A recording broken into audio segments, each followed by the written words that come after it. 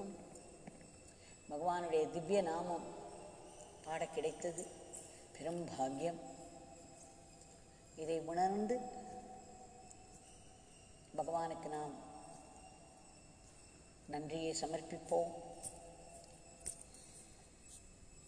எல்லாவற்றிற்குமே அவரிடம் நன்றி கூறிக்கொண்டே இருக்க வேண்டும்.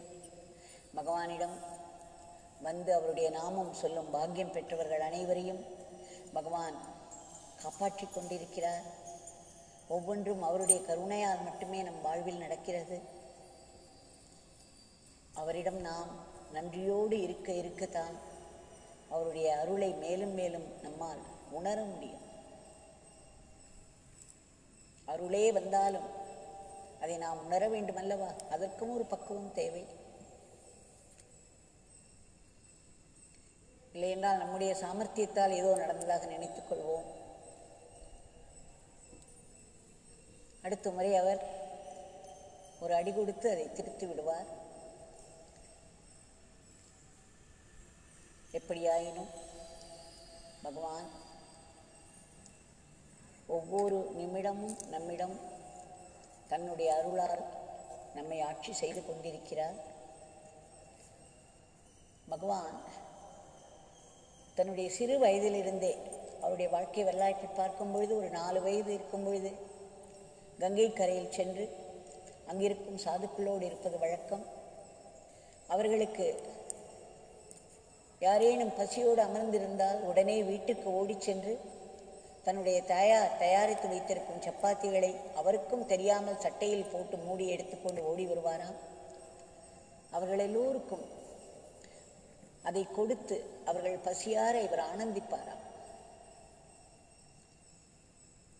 அந்த சிறு வயதிலிருந்தே சாதுக்களுக்கு உணவிடுதல் என்பது பகவானுடைய மனதில் பதிந்து போய் அது மீண்டும் அவர் ஆசிரமத்தில் சாது போஜனம் என்று மலர்ந்து இன்று வரை சாதுக்களுக்கு இந்த கொரோனா வைரஸ் போதும். அவர்களுக்கு நாம் உணவிட்டு கொண்டிருக்கிறோம்.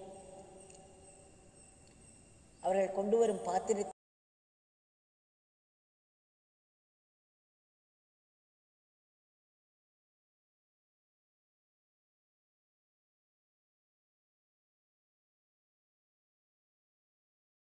வரை சாதுக்களுக்கு இந்த கொரோனா வைரஸ் போதும்.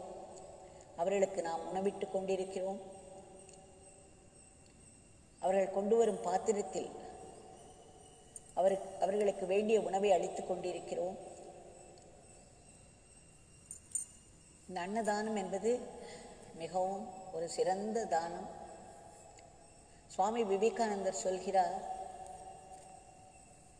மகேஷனை வழிபடுவது என்பது மக்களை வழிபடுவதுதான். உங்களுக்கு நாராயண பூஜை செய்ய வேண்டும் என்றிருந்தால்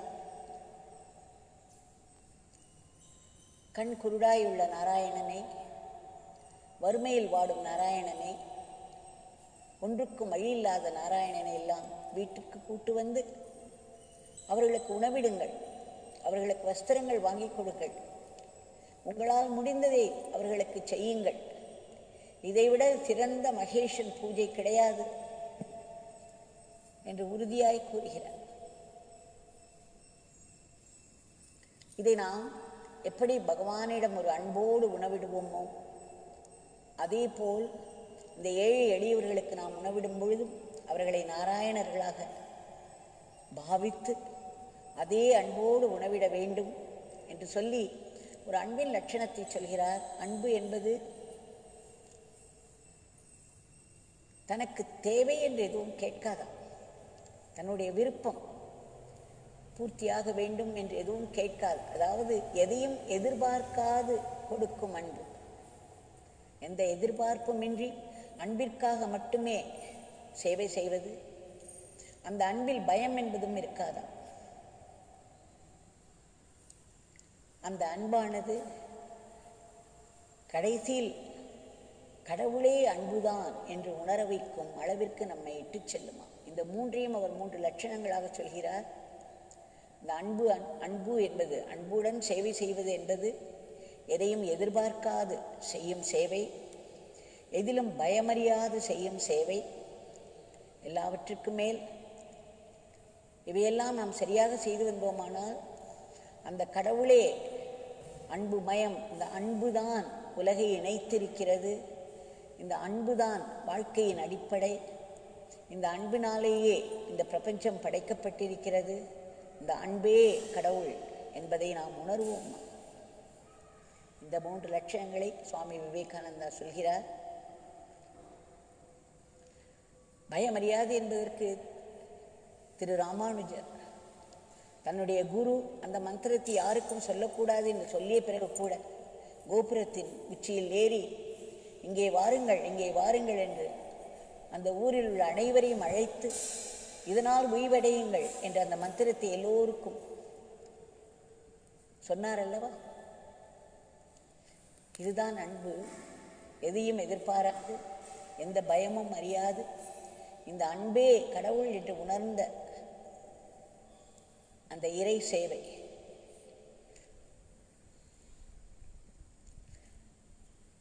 நம்முடைய அன்னதானத்தை பற்றி ஒரு இரண்டு கதைகள் படித்தேன் பகவானை பற்றி.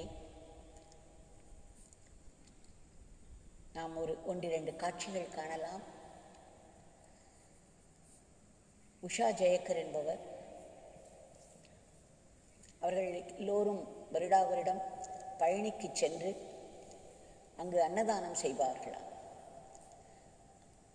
அவருடைய கணவருடைய தந்தையார் அவருடைய மாமனார் இருந்த காலம் முழுவதும் வருஷத்திற்கு ஒரு முறை குடும்பத்தினர் அனைவரும் ஒன்று சேர்ந்து சகோதரர்கள் அனைவரும் ஒன்று சேர்ந்து அந்த சகோதரர்களின் குடும்பங்களும் ஒன்று சேர்ந்து பெரியவரோடு பயணி சென்று ஒரு நாள் எல்லோருக்கும் உணவு படைப்பார்களாம்.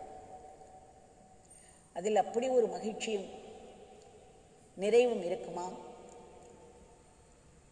இதன் பிறகு அவருடைய தந்தையார் மறைந்தார். அதன் பிறகு அவர் சொல்லிய ஒரு வாக்கின்படி உஷா அவர்களுடைய கணவர் பாகப்பிரிவினை இருபத்தைந்து வருடங்களுக்குள் செய்ய வேண்டும் என்று இருந்த நிறைவேற்ற வேண்டும் என்று பாகப்பிரிவினை செய்துவிட்டார்களாம் அதையும் அவர்கள் எல்லோரும் நிறைவோடு தான் செய்தார்களாம். எல்லோருக்கும் எந்த குறையும் இல்லாமல் அவரவர்கள் ஒற்றுமையாகத்தான் அதை செய்து கொண்டார்களாம். ஆனாலும் அதற்கு பிறகு உஷா அவர்கள் சொல்கிறார்கள் அவருடைய கணவரோடு மற்றவர்கள் அதிகம் பேசுவதை நிறுத்திவிட்டார்கள். அந்த முறை பழனிக்கு சென்று அன்னதானம் செய்ய வேண்டும். கணவருடைய கூட பிறந்தவர்கள் யாரும் அங்கு வரவில்லை. இவர்கள் குடும்பம் மட்டும் தனியாக சென்று அதை செய்ய வேண்டிய நிலையில் இருந்தது. அப்பொழுது இவருக்கு மிகவும் பயம். பகவானுடைய நாமத்தை சொல்லி சொல்லி வேண்டிக் கொண்டாராம். பகவான் அவருக்கு பலமுறை உணர்த்தியிருக்கிறாராம். அவரும் முருகனும் வேறில்லை. இருவரும் ஒருவரே என்பதை அவருக்கு உணர்த்தியிருக்கிறாராம். இவர் பகவானுடைய நாமத்தை சொல்லி சொல்லி பகவானிடம் வேண்டிக் கொண்டே இருந்தார். நல்லபடியாக அன்னதானம் நடக்க வேண்டும் நல்லபடியாக அன்னதானம் நடக்க வேண்டும் திருப்தியாக நடக்க வேண்டும் என்று வேண்டிக் கொண்டே சென்றாராம். அப்பொழுது அந்த அன்னதானம் மதியம் வேளை நல்ல வெயில் நேரம் அந்த அன்னதானத்திற்காக வந்து அமர்ந்திருந்தவர்கள் எல்லோரும். அவரவர் இலைகள் முன் அமர்ந்திருக்க முதலில் பொரியல் சாதம் இவைகள் பரிமாறியவுடன் உஷா ஜெயக்கர் அவர்கள் சாம்பார் வாளியை எடுத்துக்கொண்டு எல்லோருக்கும் சாம்பார் பரிமாறிக்கொண்டே வந்தாராம். மனதிற்குள் பகவானை வேண்டிக் கொண்டே வந்தாராம். எல்லோரும் நிறைவாக திருப்தியாக சாப்பிட்டு விட்டு செல்ல வேண்டும். இது ஒரு ஆனந்த அனுபவமாக இருக்க வேண்டும் என்று வேண்டிக்கொண்டே வந்தாராம். ஒரு இலையில் சாம்பார் இட்ட பிறகு போதும்மா என்ற ஒரு குரல் கேட்டதாம். இவருக்கு உடல் ஆடிப்போய் விட்டதாம் மை சிலிர்த்து விட்டதாம். இது என்ன சுவாமியின் குரல் கேட்கிறதே என்று அவரை பார்த்தாராம். அதேபோல் தலைப்பாகை வெண்தாடியோடு சாக்ஷாத் சுவாமியே அங்கே உட்கார்ந்திருந்த மாதிரி இருந்ததாம் உடனே அவர் அவர் உடல் முழுவதும் அவருடைய உயிரும் உடலும் அந்த பகவானுடைய இருப்புக்கு அதிர்வலைகளால் ஆட்கொள்ளப்படுகிறது. ஆனால் அதே சமயம் நம்முடைய புத்தி இருக்கிறதல்லவா? சுவாமி விவேகானந்தர் சொல்வார் எப்பொழுதும் உங்கள் இதயத்தை கேளுங்கள் எந்த ஒரு பிரச்சனையிலும். உங்கள் இதயம் சொல்லும்படி நடங்கள் உங்களுடைய புத்தி சொல்லுவதை விட்டுவிடுங்கள் என்பார். ஹார்ட்டுக்கும் ஹெட்டுக்கும் ஹிருதயத்துக்கும் புத்திக்கும் ஒரு போராட்டம் வரும்பொழுது உங்கள் ஹிருதயம் உண்மையை சொல்லும் உங்களுக்கு நல்வழி காட்டும். புத்தியை அப்பொழுது நம்பாதீர்கள் என்று சொல்வார். இவர் இவருடைய ஹிருதயத்தில் அது பகவான் தான் என்று உணர்கிறார். உடல் ஆடிப்போய் விடுகிறது. ஒரு ஆனந்த மெய்சிலிர்ப்பு ஏற்படுகிறது. பார்க்கிறார். பகவானுடைய உருவம் அந்த இலையில் மற்றவர்கள் போல் உட்கார்ந்து கொண்டு போதும்மா என்று சொல்லி அந்த சாம்பாரை ஏற்பது தெரிகிறது. அடுத்த நிமிடம் இவருடைய புத்தி. ச்சே இங்கெல்லாம் பகவான் எப்படி வந்து உட்காரு இது பகவானா இருக்காதே என்று நினைத்தாராம். அடுத்த இலைக்கு சாம்பார் போட போனாராம். அப்படியே மறந்தும் போய்விட்டாராம் இவரை. அப்பொழுதும் அந்த கருணை தெய்வம். அடுத்த முறை இவர் ரசம் போடுவதற்காக வந்தாராம். அந்த ரசத்தை இவர் எட்ட பொழுது போதும்மா என்று சொன்னாராம். உடனே மறுபடியும் இவர் உடல் ஆடிவிட்டதாம். இவர் உள்ளம் கனிந்து போய் பார்த்தாராம். இந்த முறை சாக்ஷாத் பகவான் தான் வந்திருப்பார் வந்திருக்கிறார் என்பதை உணர்ந்து கொண்டாராம். அப்படியே தெரிந்தாராம். இவர் கண்களுக்கு பகவான் பகவான் அங்கு உட்கார்ந்து இந்த இலையில் இவருடைய பரிமாறலை ஏற்றுக்கொள்வதை அவர் பார்த்தார் மெய் சிலிர்த்து போனார். இந்த முறை அவர் அதை விட்டுவிடவில்லை. ஆனால் அந்த புத்தி சொல்லிற்று உடனே உன் கணவரை அழைத்து வந்து காண்பி என்று. உடனே அந்த நிமிடத்தில் அந்த பகவானை அங்கேயே போற்றி வழிபடுவதற்கு பதில் ஓடினார். தன்னுடைய கணவரை கூப்பிடுவதற்கு. வாருங்கள் வாருங்கள். சாமி வந்து உட்கார்ந்து சாப்பிட்டுக் கொண்டிருக்கிறார். வாருங்கள் வாருங்கள் என்று போய் திரும்பி இருவரும் ஓடி வரும் பொழுது அங்கே அவர் காணப்படவில்லை. அந்த இலை மூடி இருந்தது. பக்கத்தில் இருந்தவர்களை கேட்டவுடன் அவர் சாப்பிட்டு முடித்து எழுந்து போய்விட்டாரே என்று சொல்லிவிட்டார்கள். இவர் சென்று கணவரை கூட்டி வருவதற்குள் அந்த சில நிமிடங்களில் பகவான் மறைந்து விட்டார். மி- மீதமிருந்த அத்தனை இலைகளிலும் உட்கார்ந்து எல்லோரும் சாப்பிட்டுக் கொண்டிருக்கும் பொழுது இந்த இலை மட்டும் இலை இருந்தது பகவான் மறைந்து விட்டார். இவர்கள் உடனே பரபரவென்று வாசலில் எல்லாம் போய் தேடினார்கள். அங்கு இருந்த அந்த வீதியில் யாரோ ஒரு நாலைந்து பேர் தான் போய்க் கொண்டிருந்தார்கள். அவர்களில் யாருமே இவர் பார்த்தவர் இல்லை. தலைப்பாகையோடு தாடியோடு பகவானுடைய முகம் பகவானுடைய உருவம் எங்குமே தென்படவில்லையாம் அவர் கணவர் மிகவும் வருத்தமடைந்தார். உன்னா உன் கண்களுக்கு பகவான் காட்சியளித்திருக்கிறார். என் கண்களுக்கு தெரியவில்லையே என்று அவர் மிகவும் வருத்தப்பட்டார். எப்பேற்பட்ட ஒரு நிகழ்ச்சி நாம் விவேகானந்தர் சொல்கிறார் எல்லோரையும் வறியவர்களை எல்லாம் எளியவர்களை எல்லாம் நாராயணர்களாக பாவித்து அவர்களுக்கு அன்னமிடுங்கள் வஸ்திரம் வாங்கி கொடுங்கள். தினம் வீட்டிற்கு இருவரையாவது அழைத்து சாப்பாடு போடுங்கள். நம் நாட்டில் ஏழைகளுக்கு பஞ்சம்?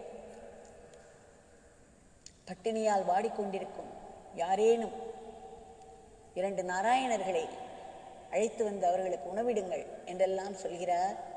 இங்கு சாக்ஷாத் பகவானே வந்து அமர்ந்து அந்த இலையில் சாப்பிட்டு கொண்டிருக்கிறார். இவர் அன்னதானம் நன்கு நடக்க வேண்டும். பகவானுக்கும் நிறைவாக அது நடக்க வேண்டும். பயணி முருகனுக்கு நிறைவாக நடக்க வேண்டும். வந்து சாப்பிடுவர்கள் மிகவும் திருப்தியோடு செல்ல வேண்டும் என்று அவர் கூப்பிட்ட பொழுது பகவான் வந்து அந்த இலையில் அமர்ந்து போதும்மா என்று சொல்லி ஒரு முறை இல்லை இருமுறை சொல்லி அவரை ஆட்கொண்டார். அவருக்கு பழனி முருகன் பகவான் யோகிராம் சரத்குமாரே வந்து அமர்ந்து சாப்பிட்டு சென்றார். அதை நாம் கண்ணால் பார்த்தோம் என்ற நிறைவு இருந்தாலும் கணவரால் பார்க்க முடியவில்லை.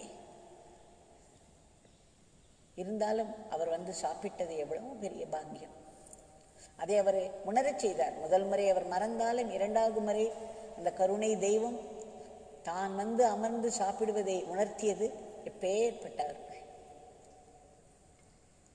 இன்னொரு காட்சி. சுப்பிரமணியன் என்பவர் கோயம்புத்தூரிலிருந்து அவர் இப்பொழுது மாலே தீவில் ஆசிரியராக பணியாற்றி வந்தார். பல வருடங்களாக பணியாற்றி வருகிறார். அவர் எழுதியிருக்கிறார் தொண்ணூத்தஞ்சு தொண்ணூத்தாறு. ஏதோ ஒரு வருடம். பகவானை பற்றி மிகவும் கேள்விப்பட்டு அவருடைய நண்பர் ஒருவர் ரமணன் என்று பெயர் அவர்கள் குடும்பத்தோடு பகவானை காண வருவார்களாம். அவர்கள் வீட்டில் பகவானுடைய படம் இருக்குமா? பகவானே அவருடைய கையால் திருக்கையால் தந்த படம் இருக்குமா? அவர் அங்கு செல்லும் பொழுதெல்லாம் அதை பார்ப்பாராம். அவரையும் மீறி ஒரு ஈர்ப்பு இருக்குமாம் ஆனால் அதன் பிறகு மற்ற விஷயங்கள் அதை மூடி மறைத்துவிடும். அதனால் இவர் பல நாட்கள் அங்கு செல்லவே இல்லை. வருடங்கள் ஓடின. தொண்ணூத்தஞ்சு தொண்ணூத்தாறு இவருக்கு அவரை போய் பார்க்க வேண்டும் என்ற ஒரு நினைப்பு மேலோங்கியது.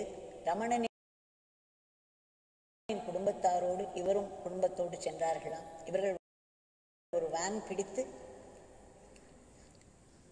திருவண்ணாமலை அப்பொழுது ஆசிரமம் தொடங்கிவிட்டது. ஆசிரம கட்டுமான பணி நடந்து கொண்டிருந்தது. பகவான் வந்து குறிப்பிட்ட நேரங்களில் அமர்ந்து தரிசனம் தந்து கொண்டிருந்த நேரம்.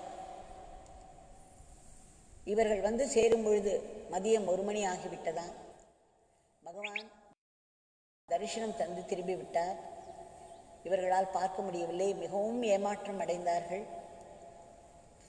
அதன் பிறகு அவர்கள் சொன்னார்கள் இனி மாலை நாலு மணிக்குத்தான் வருவார் என்று சொன்னவுடன் நாம் தபோவனம் போய்விட்டு வந்து விடலாம் என்று திருக்கோவிலூர் சென்று இவர்கள் திரும்பி வரும்பொழுது இரவு எட்டு மணி ஆகிவிட்டது. மறுபடியும் இவர்களால் பகவானுடைய தரிசனம் இவர்களுக்கு கிடைக்கவில்லை பார்க்க முடியவில்லை. மிகவும் வருத்தம். இவருக்குத்தான் மிகவும் வருத்தமாக இருந்தது.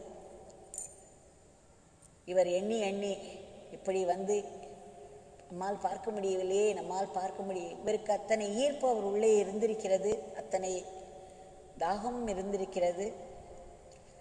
ஆனால் கூட வந்தவர்கள் இவருக்கு மனதே இல்லை. மதியம் வந்த பிறகு இருந்து பார்த்துவிட்டு போகலாம் என்ற நினைப்பு இருந்தாலும் மற்றவர்களோடு சேர்ந்து செல்ல வந்திருப்பதால் அவர்கள் அவர்களோடு செல் செல்ல வேண்டும் என்ற நினைப்பு வந்தவுடன் மறுபடியும் பகவானை பார்க்கும் வாய்ப்பை இழந்தார். அது மனதை மிகவும் வேதனைக்குள்ளாக்கியது. பிறகு ஒரு இடத்தில் அவர்கள் நிறுத்தினார்கள். எல்லோருக்கும் பசி இவருக்கு ஒரு தயிர் பொட்டலம் கிடைத்ததாம். அந்த நேரத்தில் எல்லோருக்கும் பொட்டலத்தில் அவர்கள் உணவு கொண்டு வந்திருந்தார்கள். இவருக்கும் ஒரு தயிர் பொட்டலம் கிடைத்ததாம். இவர் அவர்கள் கொண்டு வந்த வேனிலிருந்து இறங்கி அந்த டிரைவருக்கு பக்கத்தில் உள்ள அந்த கதவின் வெளியில் நின்று கொண்டு அந்த பொட்டலத்தை பிரிக்க போனாராம். அப்பொழுது நிலா இரு இரவுது இரவு அது. ஒருவர் வெண்தாடியோடு தலைப்பாகையோடு ஒரு அரை இருட்டு சரியாக அவரால் பார்க்க முடியவில்லை. சற்று மங்கலாகத்தான் இருந்தது. அப்பொழுது ஒருவர் எனக்கு மிகவும் பசிக்கிறது. ஏதாவது உணவு கொடுங்கள் என்று கையை நீட்டினாராம். இவர் சற்றும் யோசிக்காமல் அந்த பொட்டலத்தை அப்படியே அவரிடம் கொடுத்து விட்டார்.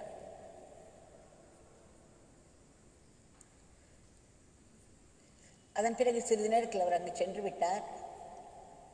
பின்னால் மிகவும் வரும் பசி மற்ற எல்லோரும் சாப்பிட்ட பொழுது இவருக்கு இவருடைய பொட்டலத்தை அவரிடம் கேட்டவரிடம் கொடுத்து விட்டதனால் இவருக்கு மிகவும் பசி எடுக்கவும் அப்பொழுது அவருடைய நண்பரிடம் சொல்ல அந்த நண்பர் ரமணர் கேட்டாராம் வந்திருந்தவர் எப்படி இருந்தார் என்று. இவர் சொன்னார் தலையில் பாகையோடு வெண்தாடியோடு இருந்தார். ஆனால் என்னால் சரியாக பார்க்க முடியவில்லை. ரொம்ப வேகாகத்தான் இருந்தது என்று சொன்னார். உடனே அவர் நண்பர் சொன்னார் அடடா அது நம்முடைய யோகியார் தான். அந்த உருவத்தில் வந்து நீங்கள் அவரை பார்க்க முடியவில்லை என்ற வேதனையோடு இருந்தீர்கள் அல்லவா? அந்த குறையை நிறைவு செய்வதற்காகத்தான் அவர் அங்கு வந்தார். அவர்தான் வந்து உங்களிடம் அந்த தயிர் பொட்டலத்தை கேட்டிருக்கிறார். சா உணவு கேட்டிருக்கிறார். நல்லவேளை நீங்கள் கொடுத்து விட்டீர்கள். இவருக்கு ஒரு சந்தோஷம். அவரை சரியாக பார்க்கவில்லையே என்று ஒரு வேக்கம் இருந்தாலும் நல்லவேளை அதை அவருடைய கையில் கொடுத்து விட்டோமே என்று ஒரு சந்தோஷம். இப்படி பகவான் பல இடங்களில் சென்று இதே மாதிரி நிறைய பேர் நானே நிறைய படித்திருக்கிறேன். பல பக்தர்கள் மனதில் இந்த மாதிரியான ஒரு குறை இருந்தால் பகவான் அங்கே நேரிடையாக சென்று என்றால் இவர் அந்த ஜிப்பாவை பார்த்திருக்கிறார். பகவான் போட்டுக்கொண்டிருக்கும் குர்தாவை ஒரு வெளிர் நிறத்தில் இருந்த இந்த குர்தாவை பார்த்திருக்கிறார். தலைப்பாகை பார்த்திருக்கிறார் வெண்டாடியை பார்த்திருக்கிறார். இந்த அறை இருட்டில் அவருடைய ஏக்கம் தாமும் வீணாகவில்லை. பகவான் அவருக்கு காட்சி அளித்தது மட்டுமில்லாமல் அவரிடம் உணவு கேட்டு வாங்கி சென்றிருக்கிறார். பகவானுடைய பெரும் கருணை அல்லவா அது? அந்த பகவான் இதோ நம் கண்முன்னே நின்று கொண்டிருக்கிறார். சிறிய வயது நாலு வயதிலிருந்தே எந்த ஒரு சாது பசியோடு போனாலும் இவருக்கு பொறுக்காதான் உடனே ஓடி வந்து தன் வீட்டில் இல்லை என்றாலும் அக்கம் பக்கத்தில் கேட்டு வாங்கி கொண்டு போய் உணவிட்டு விடுவாராம். அதனால்தான் இன்றைக்கு ஆசிரமத்தில் நாம சங்கீர்த்தனம் தழைத்து ஓங்கி சதா ஒலித்து கொண்டிருப்பது போல் அன்னதானமும் தழைத்து ஓங்கிக் கொண்டிருக்கிறது. வெளியே போர் ஃபீடிங் என்று வரும். எளியவர்களுக்கு உணவிடுதலும் சாதுக்களுக்கு சாதுக்கள் போஜனம் என்று அவர்களை மிகவும் மரியாதையாக நடத்த வேண்டும் என்று பகவான் சொல்வார். அவர்கள் கைகளில் தண்ணீர் விட வேண்டும். கால்கள் கழுவுவதற்கு நாம் தண்ணீர் விட வேண்டும். ஒரு இலை போட்டு மூன்று முறை உணவு கேட்டு கேட்டு வழங்க வேண்டும் என்றெல்லாம் அந்த சாதுக்கள் வந்து நிறைவோடு சாப்பிட்டு சென்றால்தான் ஆசிரமம் வளரும் என்று சொல்லியிருக்கிறார் பகவான். அவர்கள் வாழ்த்த வேண்டும். நீங்கள் எளிய நாராயணர்களை கண் குருடோ நடக்க முடியாத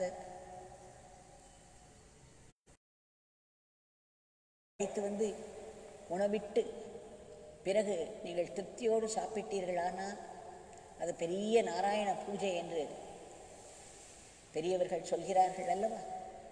அதை மகேஸ்வர பூஜை என்று தான் சொல்வார்கள் திரு திருவண்ணாமலையில் அதை எல்லோரும் மனதில் வாங்கிக் கொள்ள வேண்டும். ஏதோ ஒரு பிச்சைக்காரர் எந்த ஒரு பிச்சைக்காரராக இருந்தாலும் பகவான் கண்களில் நீர் வழியே சொல்வார். ஒரு பிச்சைக்காரனுக்கு நீங்கள் உணவிடுவதால் உங்கள் சொத்து முழுவதும் அழிந்து விடுமா? இல்லை அந்த பிச்சைக்காரர் பெரிய பணக்காரராகி விடுவாரா? என்று கேட்பார். நூறு பிச்சைக்காரர்களுக்கு உணவிட்டீர்களானால் அதில் ஒரு மகாத்மா இருப்பார் என்று சொல்வார். இதை நாம் வாங்கிக் கொள்வோம். நாமும் மற்றவர்களுக்கு உணவிடுதல் பகவானுடைய கையிலே கருவியாக செயல்படுதல் இவையெல்லாம் நாம் மனதில் கொண்டு திரும்ப திரும்ப திரும்ப அவரிடம் பிரார்த்தனை செய்து இவைகளை நாம் வரவழைத்துக் கொள்ள வேண்டும். இன்றைய பிரார்த்தனை அவருடைய பாதத்தில் சமர்ப்பிப்போம். பகவானுக்கு தெரியாததல்ல முடியாததும் எதுவும் இல்லை. தாங்கள் உடனடியாக இந்த உலகை ஆட்டி படைத்து கொண்டிருக்கும் இந்த கிருமியை இந்த கிருமியின் கொடிய பிடியிலிருந்து உலகை விடுவித்து உலகை மீண்டும் சகஜ நிலைக்கு திருப்ப வேண்டும்.